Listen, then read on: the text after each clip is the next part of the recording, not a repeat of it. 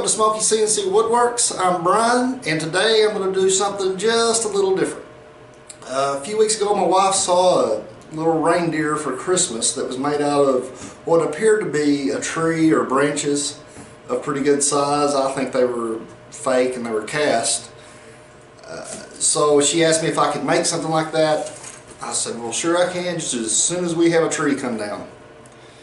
Careful what you wish for. About a week to 10 days later, a big storm comes through, splits one of our big trees in half. And so I got out there with the chainsaw and was dicing up the tree and she pointed out could make a reindeer. So I went to it. So making this, it really didn't incorporate the CNC machine. So I told her I was going to make antlers with the CNC machine, found a cool little set that I could do for it. She said no, she wanted tree branches for antlers. And I said, well, by golly, I'm putting my foot down. And the reindeer has tree branches for antlers. So the other thing I'm going to warn you about is I put captions under all this, all the measurements, I typed them all in.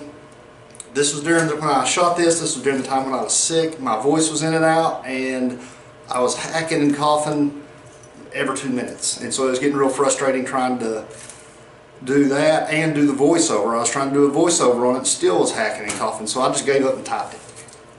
So the reason I was going to let this video go ahead and go, I was just going to kind of see how it took. I didn't know if you guys were going to watch something where the CNC wasn't involved. If y'all don't, after you've watched it or watched part of it, put me some comments so you don't want to see this stuff. Because I've still got a snowman to make, and if y'all don't want to see it, I won't video it. I'll just go to go on to do more CNC stuff which I'm fine with too. It's just whatever you guys want to see. I'm just going to be making the snowman anyway, so I figured I'd record it too and probably would be able to talk my way through the next one, hopefully. So, let's get to it.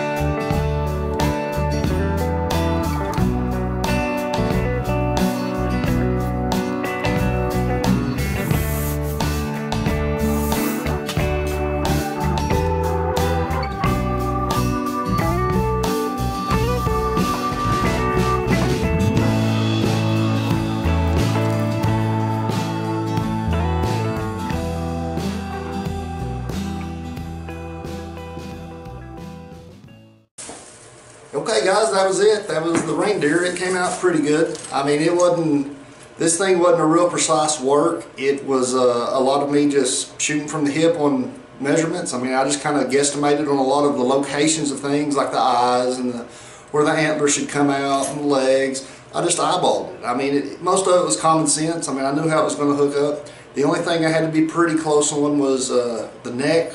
When I had those two dowels that would come up, I had to be sure I was pretty close on that. And they hit, I only had one spot that they weren't lined up good enough, and that was on the body, and so I, where the neck went in, and so I fixed it with the drill. It wasn't a big deal. So guys, I mean, like I said earlier, I've still got a snowman to make. If you guys want to see that, I will put that on here. I'm probably going to be able to swing something out of it for the on the CNC. Uh, maybe. I haven't figured out yet how I'm going to do a hat for a snowman. So I'll work on that. Maybe there'll be something from the CNC on it, maybe there won't. But if you guys don't want to see it at all, just let me know down in the comments. I won't even put it on here. So guys, uh, I appreciate you watching. If you hadn't done so yet, subscribe to me, and I'll catch y'all next time.